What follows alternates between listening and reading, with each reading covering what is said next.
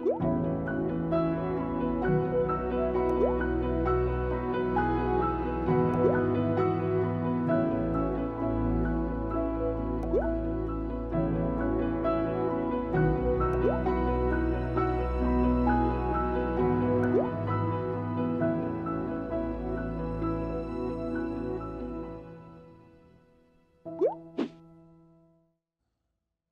Apreciados amigos, sean bienvenidos a este programa Me gustaría saber. Es un placer para nosotros poder compartir con ustedes este espacio de preguntas, de inquietudes, donde podemos a través de la palabra de Dios, Espíritu de Profecía, contestar sus interrogantes en cuanto a situaciones en la Biblia o inquietudes que ustedes tengan en algún versículo o alguna cita del Espíritu de Profecía. Es para nosotros un placer poder contar con sus preguntas y les invitamos a continuar enviándolas a la siguiente dirección que aparece en pantalla, tv.zoomtv.org. Esta es la manera como usted se puede comunicar con nosotros, enviar sus preguntas y les prometemos que hacemos todo lo posible para contestarlas. Ustedes pueden ver que nuestras eh, exposiciones aquí a veces toman más tiempo sobre una pregunta en particular y esto nos roba un poco la posibilidad de avanzar rápidamente, pero les prometemos que haremos lo posible en llegar a contestar su pregunta y darle la respuesta que merece. Conmigo tengo el placer de tener conmigo esta mañana al pastor Esteban Bor. Pastor, bienvenido a este lugar, a este programa. Siempre es un placer estar en este programa. Me encanta la investigación y la gente que nos manda preguntas se ve que estudian mucho porque son buenas preguntas. Amén, por eso es una bendición, pastor. Yo concuerdo con usted.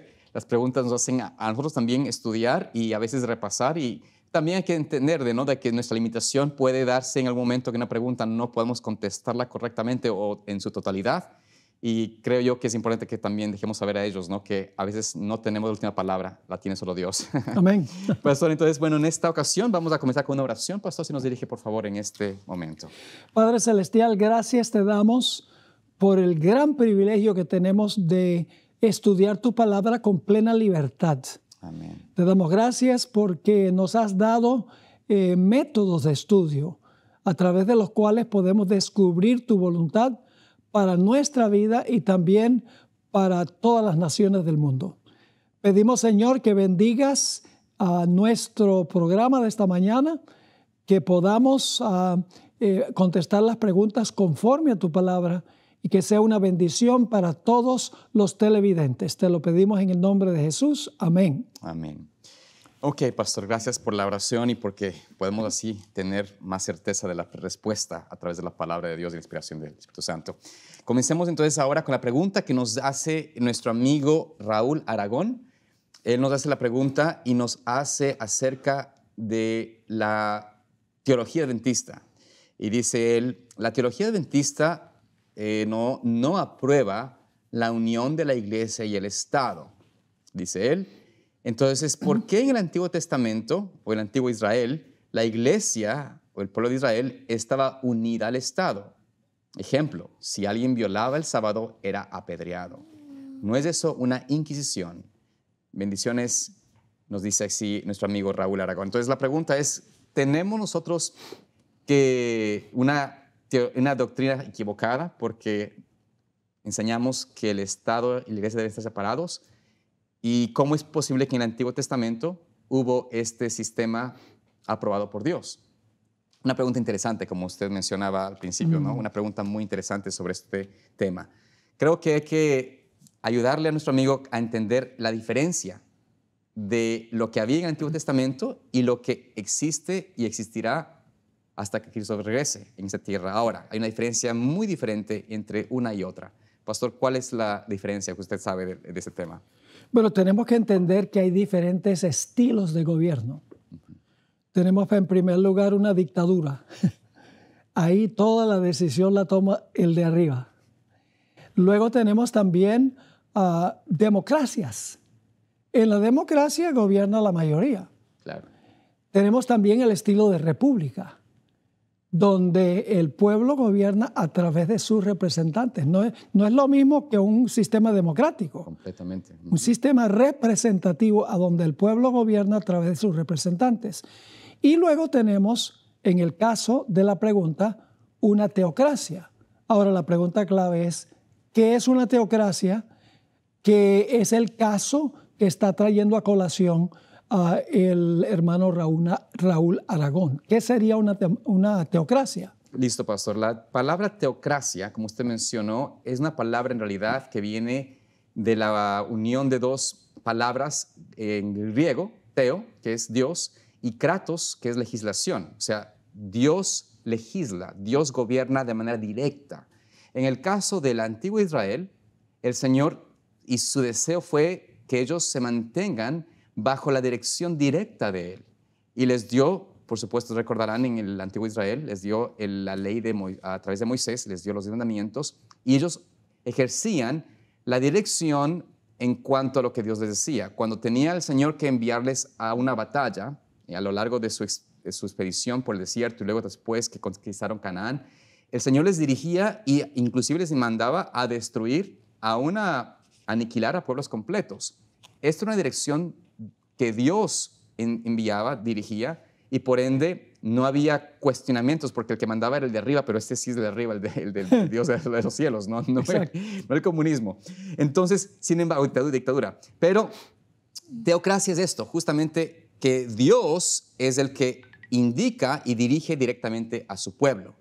Eh, y dicho sea de paso, cuando el pueblo de Israel, porque también aclara esto, porque luego se convirtió en una monarquía, pero la monarquía de Israel aunque no era el ideal de Dios, Dios permitió esto y la idea de Dios era de que ellos se mantengan bajo esa teocracia todavía, de que el Señor dirija al rey y los gobernadores o los capitanes, los jefes puedan ser dirigidos por esta relación del rey con el Señor. O sea, que la teocracia se mantenga y se continuase, aun cuando ellos quizás salieron de la ideología inicial que Dios quería que era él y no a ningún rey, sino simplemente él y sus profetas, ¿no?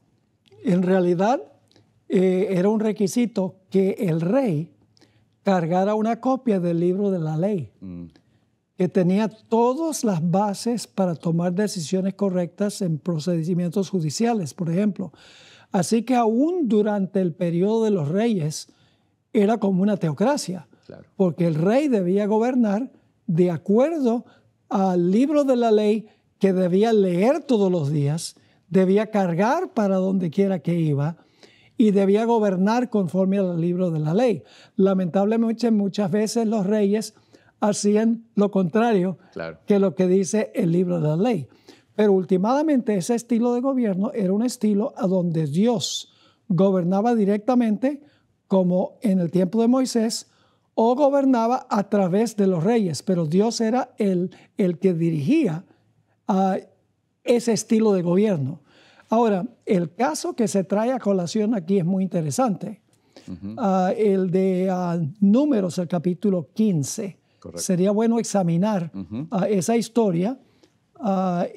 Dios había dicho que cuando el pueblo estaba en el desierto, en época de frío, estaba bien prender fuego en sábado es decir, para, cocinar y para calentarse. Claro. Eh, pero, pero no así en tiempos cuando el clima era apropiado. Correcto. Pues resulta que un individuo, sabiendo eso, digo, a mí no me importa lo que diga Dios. Yo voy a, reunir leña y yo voy a prender un fuego mm. y a ver qué hace Dios. En el contexto de Números del capítulo 15, eso se llama un pecado con la mano alzada. Mm. Un pecado de rebelión. en desafío y rebelión abierto contra Dios. Si Dios hubiera permitido que eso ah, no fuera castigado, el siguiente sábado todo el mundo está reuniendo leña y prendiendo fuego. Dios quería dejar en claro que lo que estaba haciendo ese individuo era contrario a su voluntad. Y debemos leer allí en números 15, si puede, pastor, leer, empezando en el versículo 32. Correcto. Ah, hay varios detalles muy interesantes ahí. Sí, dice allí, cuando los israelitas estaban en el desierto, hallaron a un hombre que juntaba leña en sábado. Los que lo hallaron juntando leña los llevaron ante Moisés, Aarón y toda la congregación. Y lo pusieron en la cárcel porque no estaba declarado qué le habían de hacer. El Señor dijo a Moisés. Ya, vamos a parar un momentico allí. ¿Quién es, que el, ¿Quién es el que está aconsejando qué se debe hacer con este individuo? Eh, en ese momento estaban, no estaban seguros.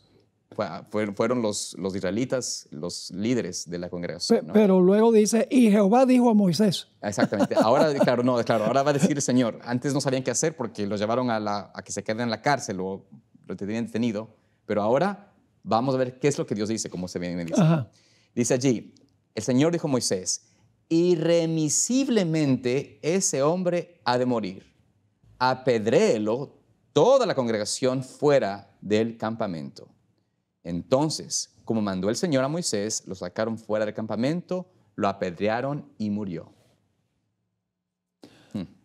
Muy interesante la historia, ¿verdad? Por supuesto. Ah, ¿quién, ¿Quién fue responsable de la muerte de ese hombre? El Señor. En realidad él. Bueno, él mismo, claro, pero quien me refiero a ejecutar. No, yo entiendo perfectamente. Sí, en realidad sí. no fue Moisés el que decidió, claro. fue Dios el que decidió. Y Dios es supremamente sabio, Dios sabe lo que es justo, lo que es correcto, no debemos cuestionar lo que Dios hace, no es como decir lo que hace un presidente hoy en día, claro. que es un hombre imperfecto, con visión limitada, Dios conoce todo perfectamente bien lo que se debe hacer. Ah, no, no diríamos en este caso que Dios fue un inquisidor. No. No. No podemos comparar a Dios, este caso, no podemos compararlo con la Inquisición durante los 1260 años. ¿Cómo fue ese, ese sistema durante el periodo papal. Es que ese sistema pastor, como usted pues conocemos, es un sistema donde se atribuyeron ciertos derechos que únicamente le correspondían al Señor. Y es decir, violaban la conciencia de las personas. La violación de la conciencia es lo que trajo eh, ese, esa inquisición. Buscaban destruir a quienes no se sometían a la fuerza, a la autoridad eclesiástica del papado. Y esto traía, por supuesto, toda esta persecución, toda esta matanza, esa inquisición, no respetando la, la libertad de conciencia, el derecho a la persona a elegir. Y estaban bajo otro sistema, no como el sistema original de teocracia, sino un sistema de eclesiástico, de autoritativo, o sea, de, digamos, de, una dictadura, por decirlo así. Era realmente una dictadura, lo que tenían el, el, poder papal.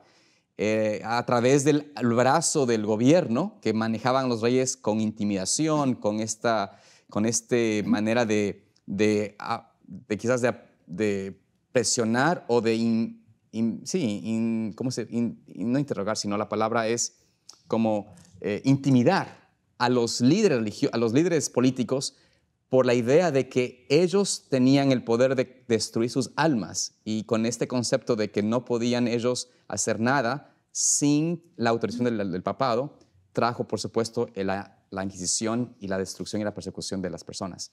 Así que hay dos diferentes tipos, totalmente diferentes, como usted mencionaba, entre la, el poder de Dios en el inicio de, de Él por su sabiduría qué individuo tenía que ser puesto a la muerte, qué tenía que tomarse en decisiones que parecen difíciles para nosotros los hombres, pero Dios lo decía y él sabía las cosas. En cambio, cualquier gobierno posterior, cualquier sistema de, de, control, de, de unión entre Estado e Iglesia, va a traer consecuencias continuas de persecución y de violar la identidad o la libertad de conciencia del individuo, ¿no?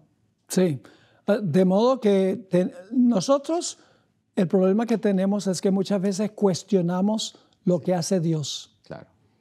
¿cómo, Dios mandó a destruir a todas esas naciones en Canaán? Claro. ¿Cómo es que Dios eh, eh, mató a Usa cuando Usa mm, tocó el arca? Eh, ¿Cómo es que Dios destruyó todo el mundo en un diluvio? ¿Cómo es que destruyó a Sodoma y Gomorra? Mm. Pues hay muchas cosas que hoy en día nosotros no podemos explicar. Pero mientras tanto, si conocemos a Dios, sabemos que Dios con su conocimiento infinito hace lo que es absolutamente correcto. Y aunque no entendemos todos los detalles, confiamos en Él porque lo conocemos a Él y sabemos que algún día, cuando estemos en el reino y Dios explique cada caso, vamos a decir, hmm, no veía toda la dimensión de este asunto, claro. Pero obraste correctamente. Por supuesto. Entonces, lo que tenemos que hacer es confiar que lo que Dios hace, como es omnisciente, lo hace correctamente y entonces algún día lo vamos a entender. Por supuesto. Es decir, Dios no nos dice, entiende algo, sino Dios dice, ten fe de que yo lo que hago es correcto y algún día lo vas a entender. Por supuesto, y Dios nos va a dar ese privilegio. Además de esto, pastor, algo que me llamó, la atención investigando un poco, simplemente yendo en lo que significa o viendo lo que el, diccionario dice de la palabra teocracia, algo que me llamó la atención es de que hoy en día se está cambiando la narrativa. La teocracia, dentro de, la, de lo que comprendemos, es solamente cuando Dios dirige, solamente cuando Dios dirige a través directamente o a través de, un, de, su sistema establecido como en la antigüedad, ¿no? donde su ley era respetada y honrada. Pero el diccionario ahora menciona de que la teocracia también es una forma de gobierno en que la autoridad política se considera emanada de Dios y es ejercida directa o indirectamente por un poder religioso como una casta sacerdotal o un monarca. Entonces, usando la idea quizás ¿no? de que tal vez en Israel hubieron reyes, esto ha hecho hoy en día pensar de que cuando un sistema religioso está unido al sistema humano, en alguna manera, ya es una teocracia. Pero eso es completamente incorrecto. Esa es la unión de Estado e Iglesia, la unión papal que menciona, eh, fue la bestia que persiguió por 1160 años, y aparte de esto, es lo que se va a volver a ver en el futuro, pastor, ¿no? Como ustedes, como la palabra de Dios enseña. Entonces, hay que comprender de que no tenemos que caer en este engaño sutil del enemigo de pensar de que cuando un gobierno quiere unirse a Dios, está haciendo lo correcto de unirse al sistema teocrático. Cuando un gobierno diga, no, vamos a volver a Dios, tenemos que tener una unión con la iglesia, con, el, con la, la asociación de iglesias o alguna, alguna entidad eclesiástica, eh, estamos viendo un cumplimiento profético, no, una, no volviendo al inicio como Dios nos dirigió. ¿no?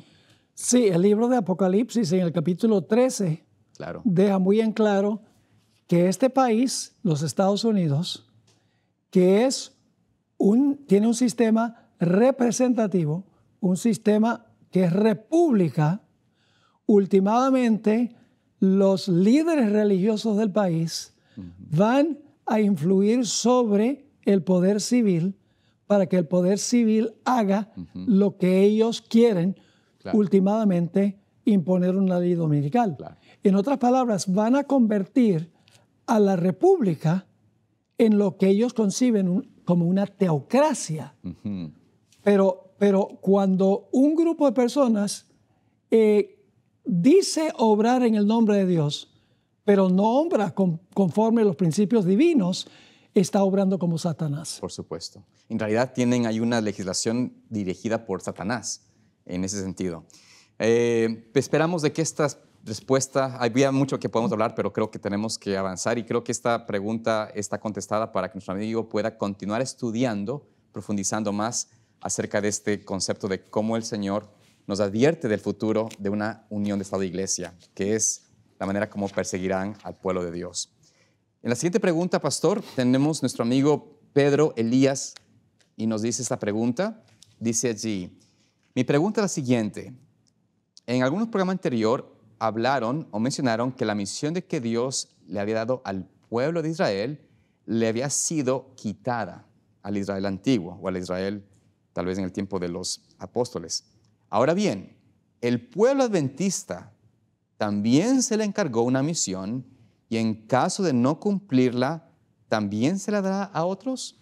Una pregunta bastante interesante, pastor, esta pregunta que nos lleva de un amigo, un hermano adventista que nos hace esta pregunta sobre qué pasará con la iglesia si es que no está haciendo la voluntad de Dios. ¿Será quitado o será que se mantiene en la iglesia no importa lo que pase, como el pueblo de Dios? ¿Qué, qué pregunta tenemos así? Aquí tenemos mucho que decir, creo yo.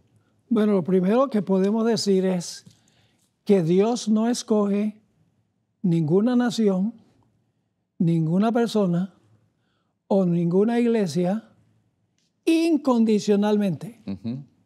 Siempre que Dios escoge, escoge con condiciones. Y si no se cumplen las condiciones, entonces la entidad deja de cumplir el plan de Dios. Ahora, em, el pueblo judío fue escogido por Dios. ¿Con qué propósito? Pues para preparar el mundo para la venida del Mesías. Fracasó en gran medida en el plan. Mm. Le fue quitado el reino. Por supuesto. Según la parábola de, Mateo 21, y fue dado a otros que produzcan los frutos en su tiempo. Correcto. El papado, mm. que, que, crece de la iglesia primitiva, pero luego apostata, claro. llega a ser Babilonia. Por supuesto. Rechazado. El protestantismo, el movimiento que empezó con Martín Lutero, empezó bien, con Dios. Últimamente se convertirá en otro brazo de Babilonia. Mm.